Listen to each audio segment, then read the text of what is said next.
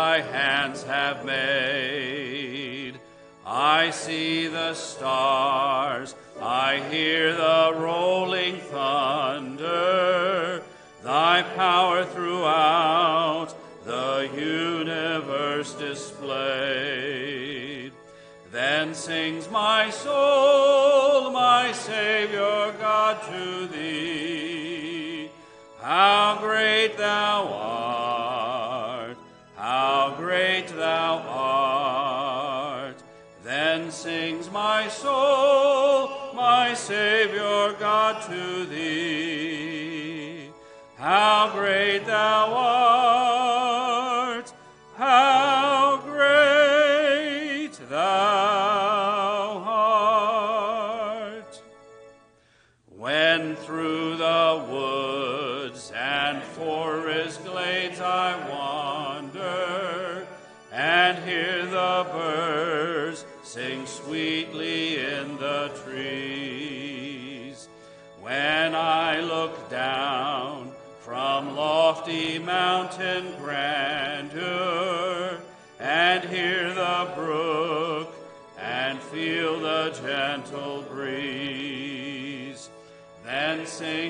Soul, my Savior God, to thee. How great thou art! How great thou art! Then sings my soul, my Savior God, to thee. How great thou art!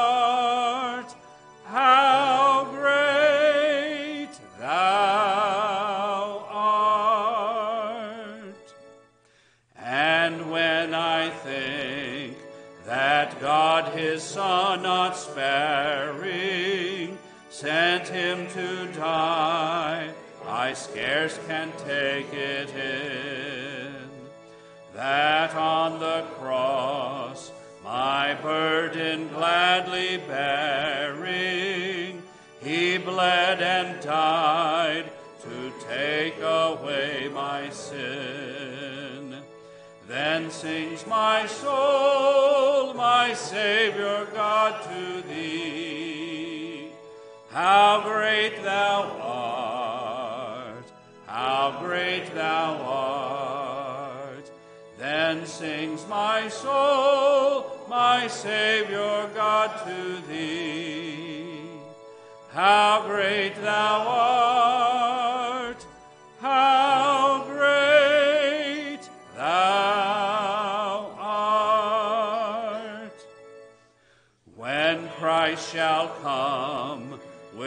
Shout of acclamation and take me home, what joy shall fill my heart? Then I shall bow in humble adoration and there proclaim, My God, how great thou art. Then sings my soul, my Savior God, to thee. How great thou art! How great thou art! Then sings my soul, my Savior God, to thee. How great thou art!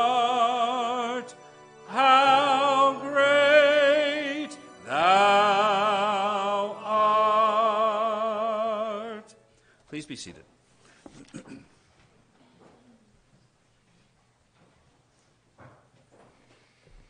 Who is a God like unto thee, that pardoneth iniquity, and passeth by the transgression of the remnant of his heritage.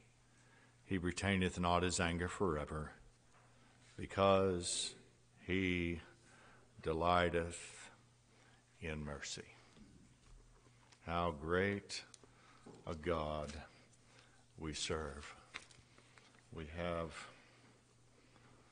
no ability to comprehend the fullness of his greatness. One day we'll see him as he is. What a day that'll be. We were talking this morning about people that are all caught up in fear over over this uh, hurricane, and I said, for those who are in Christ, uh, the worst case scenario will be the best day of their life, and uh, that's that's our hope, isn't it? That's our hope. We do have friends in the Bahamas, and I know there's people dying down there right now with a Cat 5 sitting over top of them. Uh, talked to Margaret uh, this morning, and she's got a good bit of family down there. So, um, the wind listeth with us whithersoever it wills. Our God is in control of it, as He is in control of the salvation of His people. For so it is with everyone that's born of the Spirit. And what the Lord said to Nicodemus. So these, uh, these storms remind us of who's in control. I remember hearing a preacher say one time, wasn't a gospel preacher, he was a false prophet, but he was talking about the devastation of a hurricane. He said, Well, God didn't have anything to do with that. Now, he's got everything to do with it, doesn't he? Everything. Let's uh, go before the Lord in prayer and ask His blessings on our time together. Our merciful Heavenly Father, what great hope and joy we have in knowing that you delight in showing mercy. Lord, we are mercy beggars. We have nothing to offer you but our sin, and we plead, Lord, that, that for Christ's sake, that you would look to him and his shed blood, and that we would know that when you see the blood, that you will pass over us. Lord, we we thankful. We're thankful for the for the revelation of of the sacrifice that Christ made for us. Lord, we are not capable of comprehending it, but we pray that your Holy Spirit would give us faith to believe on him and to rest our hope in his sufficient substitutionary sacrifice for sinners. Lord, we, uh, we know that you are the one that controls the, the winds and the storms and the sea. And Lord, we pray that you would be merciful. And uh, we ask, Lord, that you would give us uh, hope and rest and faith to trust you in whatever you see fit. For we ask it in Christ's name.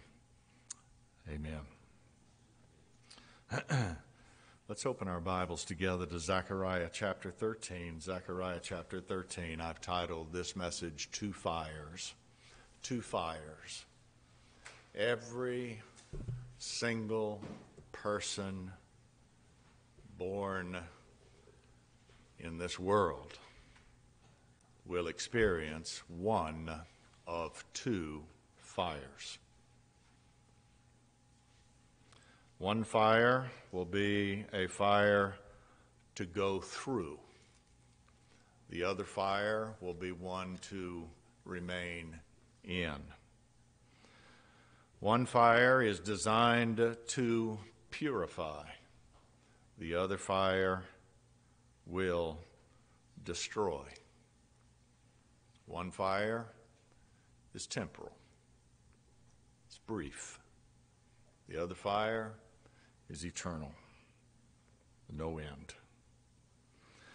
One fire won't hurt you. It won't hurt you. The other fire will bring agony beyond imagination. One fire is a controlled burn for good. The other fire is a raging forest fire that will consume everything. Those who are found in Christ need not fear the latter fire, the second death, the lake of fire, burning with fire and brimstone for all eternity. But those that are found in Christ do have a fire to go through. They do have a fire to go through. It's the fiery trials that the Lord's ordained for them in this world. Not as proof of their salvation. Proof of our salvation is in Christ and through faith in Christ. Don't think that these fiery trials are designed to, to give you assurance. Well, I, I got through that trial, that trouble, that fire, and, uh, and, I'm, and I'm still believing God, so therefore I must be a believer. And you look to that experience as the hope of your salvation. No. No, that's not the design of these fires that the child of God goes through in this world. The design of these fires is to purify. To purify. To make us more like the Lord Jesus Christ. And to make us more dependent upon Him. Zechariah chapter 13,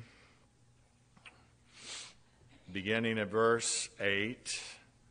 And it shall come to pass that in all the land, that's all the people, two parts therein shall be cut off and die. But the third part, the third part shall be left therein. And I will bring the third part through the fire, and will refine them as silver is refined, and will try them as gold is tried. They shall call on my name, and I will hear them. I will say, It is my people, and they shall say, The Lord is my God. Now, we have a Savior who is described in the scriptures as having feet of fine brass as were burned in a fire. The fiery wrath that's going to consume the two thirds spoken of, and this is a distinguishing grace that God has given to, to man. Two thirds going to be consumed by a fire, going to be cut off. One third is going to be tried with a fire. That's the church, that's his people. And the reason why we're not going to be cut off is because the Lord Jesus Christ has quenched has quenched the fire of God's holy wrath for us. That fire's been put out.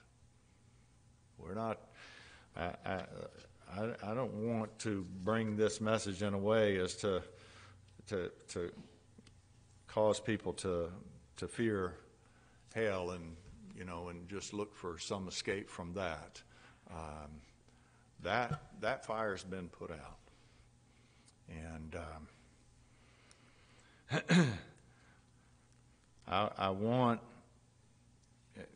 mo- most people in the world are like Esau, who for one morsel of meat sold his birthright. They will avoid the fiery trials of faith in this life and uh, sell their souls, not knowing that the fire that's coming is much, much worse. Oh, it, well, it cannot be compared. Cannot be compared. Brethren, we have a deliverance, a deliverer from that fire. And um, Scripture makes it clear that our God is a consuming fire and that it is a fearful thing to fall into the hands of an angry God. We don't want any part of that. That's why the Lord Jesus Christ is referred to as our propitiation. The wrath of God has been put away, the fire has been put out. But there is a fire. There is a fire that every child of God will go through. But here's the good news it won't hurt you. you remember the Hebrew children?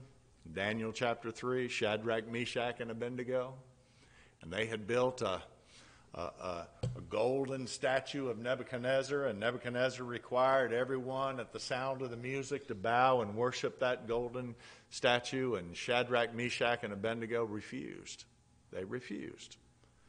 And uh, the governors who were jealous of Shadrach, Meshach, and Abednego went and told Nebuchadnezzar, There's some men over here, the Jews, they're not going to bow down and worship. And Nebuchadnezzar brought them in. Is it true? Is it true? If at the sound of the music you bow down and worship me and the gods of Babylon, uh, I'll let you go. But if you don't, I'm going to put you into the fiery furnace. And, uh, and what, did, what did Shadrach, Meshach, and Abednego say to Nebuchadnezzar? Nebuchadnezzar? Nebuchadnezzar, we're not going to bow to your God. And we know that our God is able to deliver us from that fire, and we are sure that He's going to deliver us from you. Either way, either way, He's going to deliver us from you. And Nebuchadnezzar, the scripture says, was, was infuriated over their, over their rebellion. And so he ordered that the furnace be heated seven times. Seven times. I, I Several years ago, we lived in a small town in Alabama, and there was a steam plant in that town, um, a power plant that produced electricity by burning coal. And, and I don't know the details. Maybe somebody knows more about steam plants, but I remember there were three men, three men that opened a furnace when it wasn't supposed to be opened. And the fire came out and killed all three of them in that small town. It consumed all three of them. And I thought about that. That's, that's what happened here. The, the, the Lord, uh, Nebuchadnezzar took his strongest men and said, Bind them and throw them into the furnace and heat the furnace. And when they opened the door to the furnace to put them in, the fire consumed the men that put them in the furnace. And then Nebuchadnezzar looked from wherever he was down into the furnace and he said, Did we not throw three men into the furnace? I see four. and the fourth is like unto the Son of God. and then he called out to Shadrach, Meshach, and Abednego. He told them to come out. And they came out. Not a hair on their head was singed, and the smell of smoke did not pass to their clothes. and the ropes that bound them were loosed. were loosed. That's, that's our hope.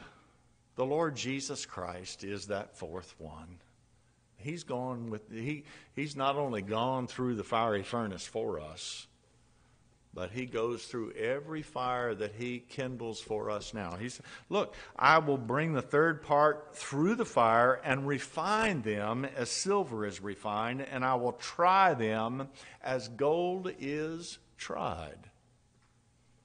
My brethren, whatever trials, whatever troubles God has ordained for you to pass through, just like with the Hebrew children, He's in that furnace with you. He said, I'll never leave you nor forsake you.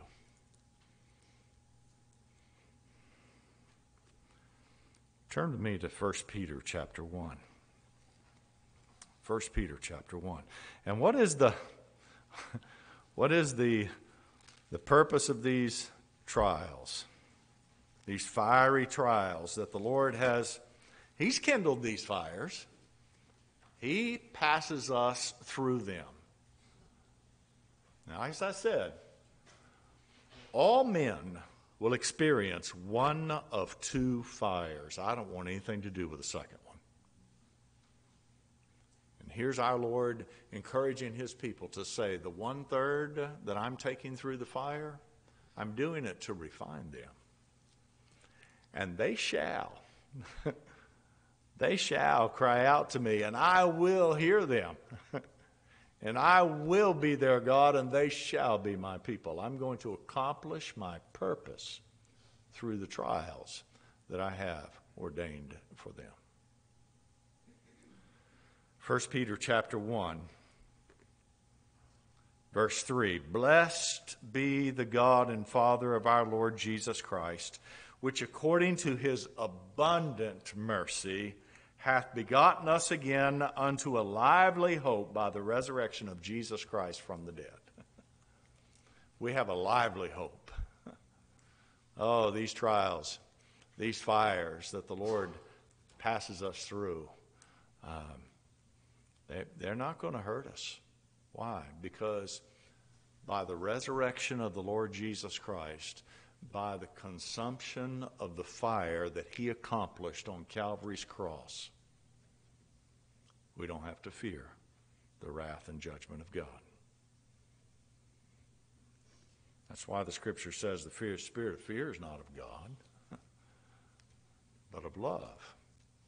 Of love and of a sound mind, a saved mind, to an inheritance incorruptible and undefiled that fadeth not away, reserved in heaven for you. it's reserved. You have a reservation. if you're in Christ, you have a reservation. Your name's already in the book. and, uh, and, and the Lord is there with his, with his angels to welcome everyone who has a reservation reserved in heaven. The Lord Jesus Christ said, You believe in God? Believe also in me. In my Father's house there are many mansions. I go and prepare a place for you. Let, he starts out with, Let not your heart be troubled. Let not your heart be troubled. What are we troubled with? We're troubled with these trials, these fiery trials, the, these, these experiences in this life. Let, let not your heart be troubled. I go and prepare a place for you.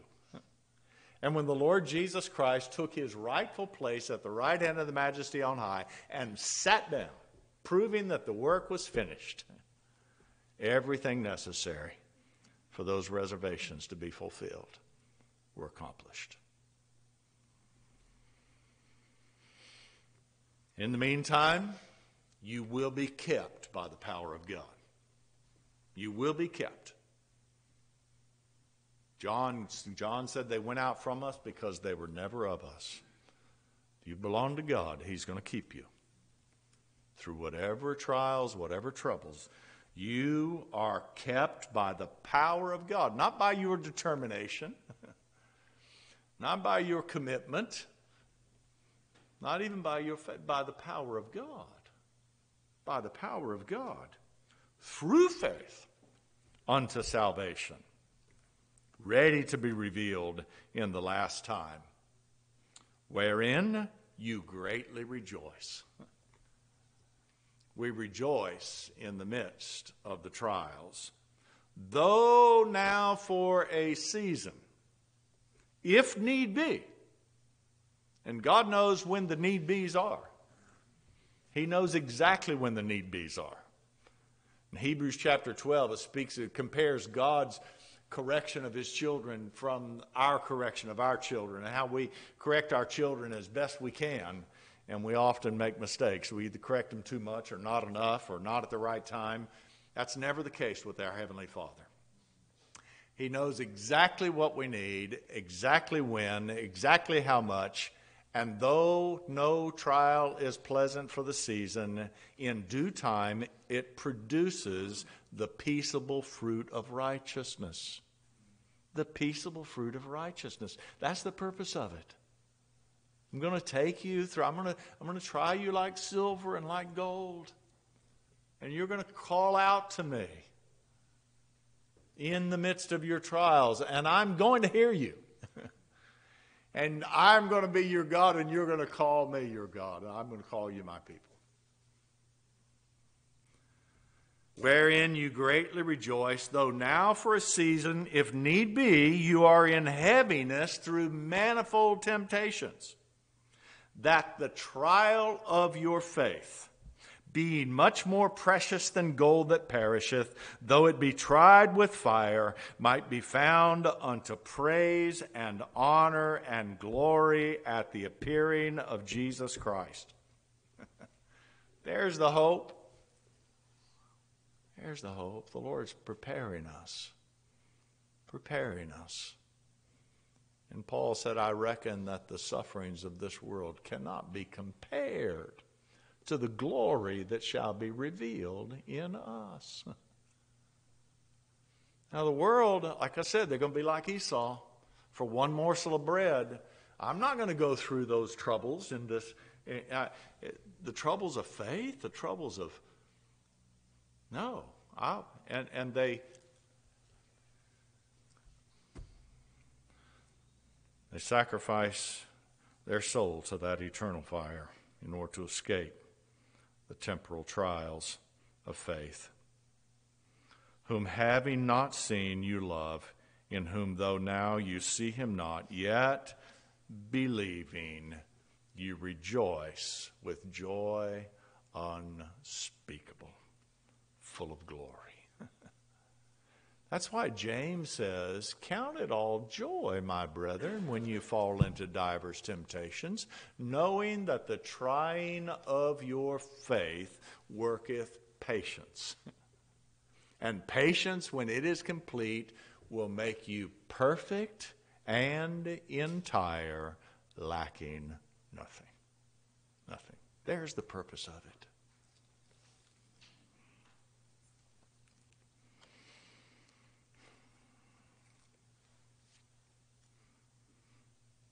Turn to me to that.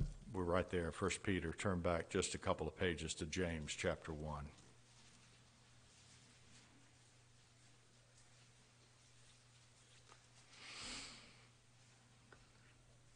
James, verse 1, a servant of God and of the Lord Jesus Christ, to the 12 tribes which are scattered abroad.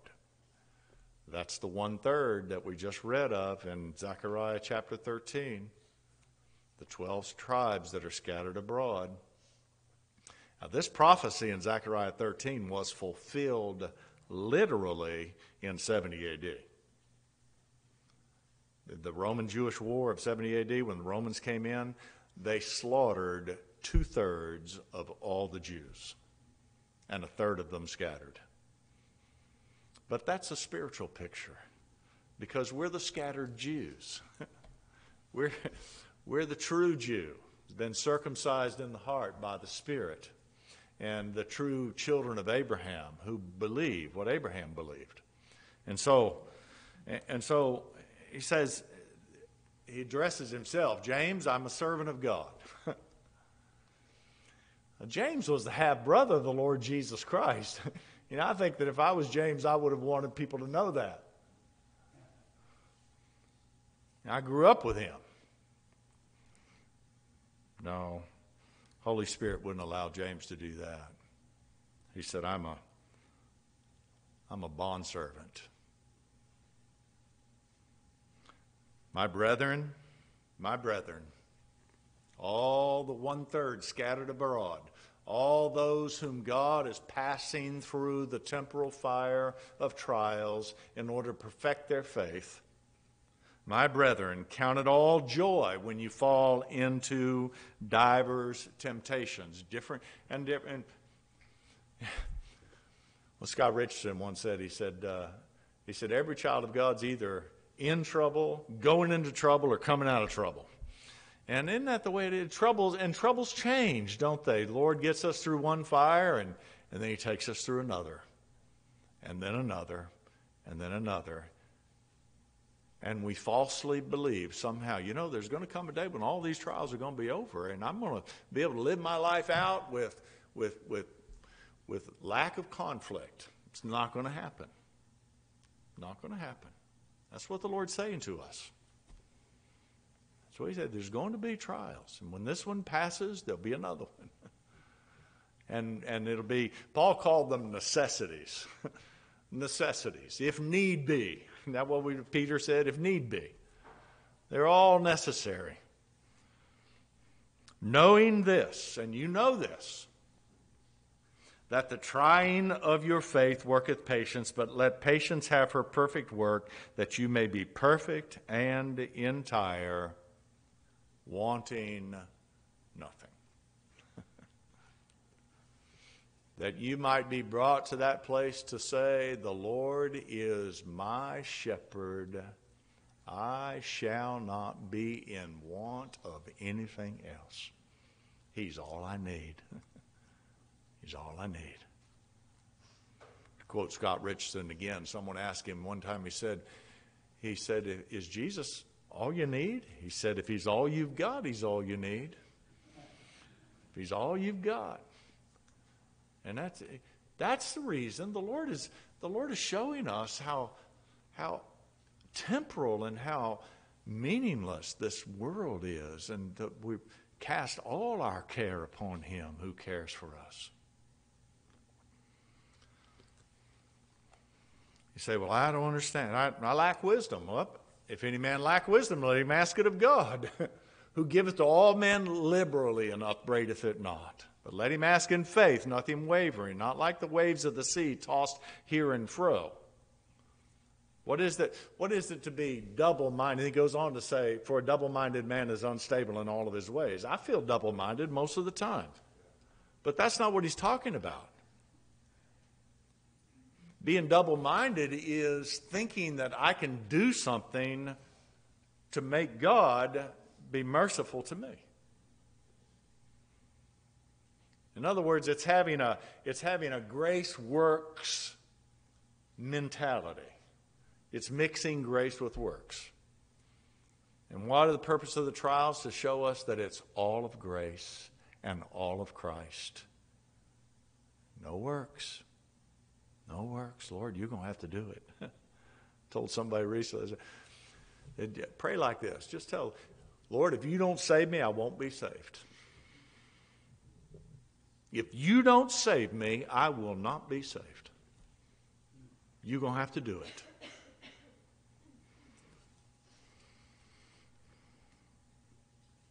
Turn to me to 2 Corinthians chapter 12. I'm going to bring him through the fire. but the fire will not hurt them. The smell of smoke will not be on their clothing. I'm going to walk through the fire with them. I'm going to loose their bonds in the fire. See, we're bound. Uh, we're, we're, eh, what binds us is a works is a is a works mentality, isn't it? It's thinking that you know I can do something to to make God bless me, or I can, uh, you know, I I can force the hand of God. I can bargain with God somehow. And how binding that is. Never knowing if you've done enough or how much you need to do or when to do it or how well you've done it. 2 Corinthians chapter chapter 12. Look at verse 7. And least I should be I should be exalted above measure through the abundance of the revelations that were given to me. Paul's saying, I, have been given an abundance of. Paul was caught up into the third heaven. he saw things that were unspeakable. He couldn't, he couldn't describe what he saw. And the Lord had given him a revelation of himself and of the gospel beyond measure.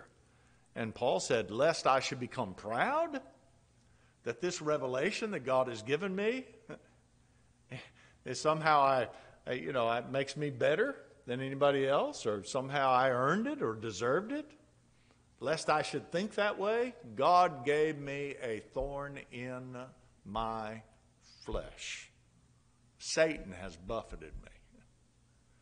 Now, there's been a lot of speculation among men as to what Paul's thorn in the flesh was.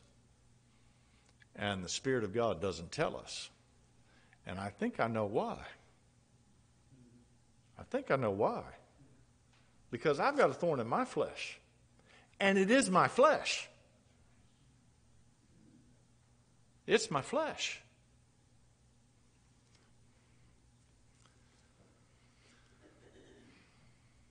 He's given me, verse 7, a thorn in the flesh, the messenger of Satan to buffet me, lest I should be exalted above measure. you see, brethren, every one of us have got a thorn in the flesh, lest we should become exalted above measure. These are the fiery trials. These are the troubles that we have. What did, what did Rebecca say uh, when, the, when, when Esau and Jacob were were fighting in her womb, she said, Lord, why am I thus? Why am I thus? Why is this conflict going on within me? And what the Lord said, because there are two nations in you. You're two nations in you. And the, and, and the older will serve the younger. And the spirit wars against the flesh, and the flesh against the spirit. What's the Lord do? When, when, when silver and gold is tried by fire. It's put into a, into a little bowl, a little crucible, and heated just to the right temperature so that the dross separates from the metal. And the, and the, the man that's doing it, or the woman that's doing it, is what, what are they doing? They're patiently taking, the dross comes to the surface, and they're patiently skimming it off. And how do they know when, when the process is finished? when there's no more dross. When the dross isn't the surface of the metal, it distorts any image. When it's pure silver and pure gold, the, the, the person can look down there and see reflection of themselves without any distortion. That's what the Lord's doing one day. One day. You see, there's going to be dross in our gold and our silver as long as we're in this flesh. That's our thorn in the flesh. One day the Lord's going to going to see a perfect image of himself. We're going to see a perfect image of him. and we're going to be made like him. See him as he is, the fullness of his glory. That's what the Lord's encouraging his people. He's just saying to them, hey, you know, one third, one third, my people, two thirds are going to be cut off. And they're going to be they're going to suffer a fire that's eternal. And one third I'm going to show them my mercy. And they're going to pass through a fire. And I'm going to try them like silver and try them like gold, but they're not going to be consumed by it. They're going to be purified by it. And, and it'll be good for them. It'll be good for them. They won't. You know, in another place, the Lord said that wood, hay, and stubble gets consumed by fire, but precious, precious metal doesn't get consumed by fire. It gets purified. So, so Paul says there's a thorn in my flesh. In verse 8, for this thing I besought the Lord thrice, that it might be depart, that it might depart from me. Lord, take this, take this away from me. How many times we've prayed that? There's a good little article in your bulletin, I think, by Philpot uh, this morning. Uh, Lord, take it away. Take it away. And he said unto me, My grace is sufficient for thee, for my strength is made perfect in weakness. What's the purpose of the fire? Here we're going through now to show us our weakness. And Paul said, When I'm weak, then I'm strong. His strength is made perfect in my weakness. I would depend upon my strength if it wasn't for these fire trials. Most gladly, therefore, will I rather glory in my infirmities that the power of Christ may rest upon me. Therefore, I take pleasure in infirmities and reproaches, in necessities, in persecutions and distresses for Christ's sake. For when I am weak, then I am strong. That's what the world doesn't know anything about. They see, they see arrogance, control as strength. You know, my the intimidation is strength. What's the Lord say? No, strength is found in your weakness. When you when you're brought by these trials to bow in submission to me, then you're going to discover my strength. Paul said, I'm going to glory in my infirmities if that be the case. uh, let's go let's go in closing to Romans chapter 8. Romans chapter 8. They're going to call me their God. What, what's our text say? They will cry out to me. I'm going to put just enough heat on them to make them cry out and when they cry out, they will cry out. I'm going to make them cry out. And I will hear them. and I shall be their God. And they will be my people. Romans chapter 8, verse 28. And we know. We know. We do know that all things work together for good for them that love God. Not going to be good for everybody. No, they've got a fire to go through. Well, they're not going to go through it. They're going to remain in it. To be cast into it never to be delivered. That fiery wrath and judgment of God is eternal. But you know, for you that love God, you who are the called according to his purpose, all things for you are going to work together for good. For whom he did foreknew, he also did predestinate to be conformed to the image of his Son. That's the purpose of it all. The purpose of it all is to be conformed to the image of his Son.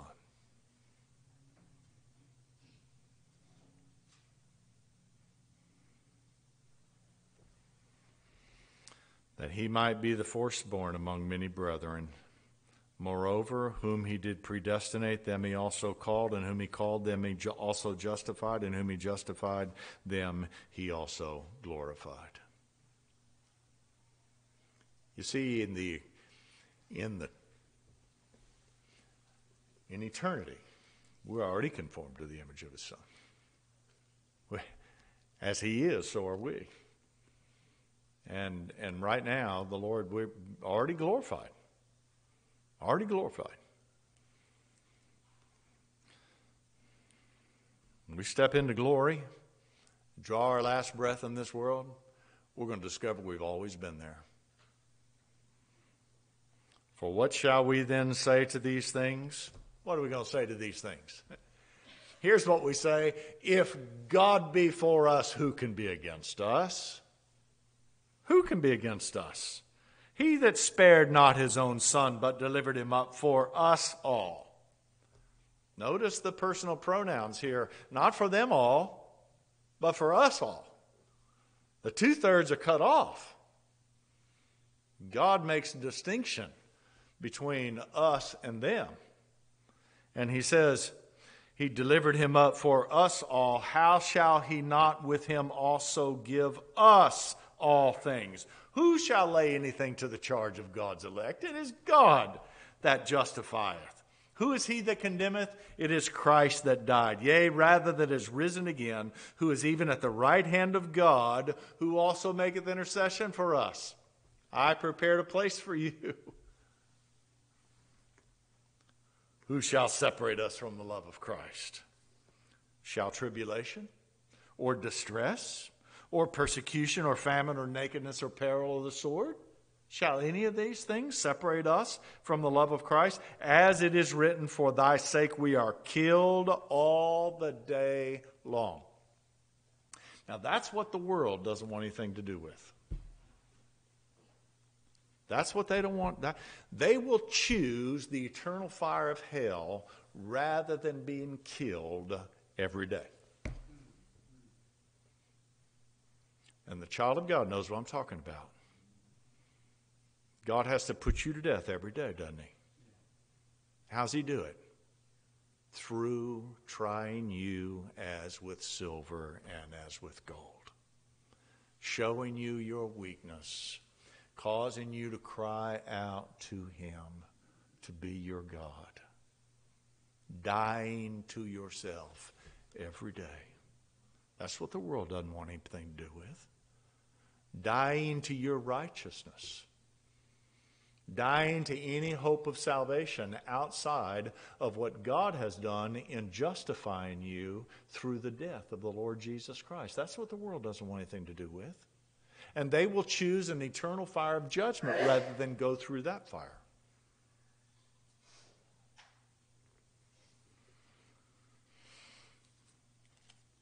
Nay, in all these things. now, what did he say? The last part of that last verse was, We're like sheep to the slaughter. We're, that's what the world doesn't want anything to do with it. A sheep? A dumb sheep? I'm not a sheep. I'm a bull. Well, you go ahead and be a bull. Because the bulls of Bashan are going to end up in the pit of fire. I'll be a sheep. A dumb sheep, dependent upon my shepherd. Through all these things, we are more than conquerors through him who loved us. For I am persuaded. Can you say this? I'm persuaded. And God has persuaded me through the fiery trials that He's taken me through. And He's proven Himself to be faithful through every one of those. And I've cried out to Him, and He's answered me. And I've called him my God, and he's called me my people. He's been faithful and merciful to me. And therefore, I am persuaded that neither death, nor life, nor angels, nor principalities, nor powers, nor things present, nor things to come, nor height, nor depth, nor any other creature shall be able to separate us from the love of God, which is in Christ Jesus. which is in Christ Jesus. Two fires. There are two fires. All men will experience one or the other. I choose the former, don't you? I don't want anything to do with that latter fire. Oh, Lord, have mercy upon me. All right, let's take a break.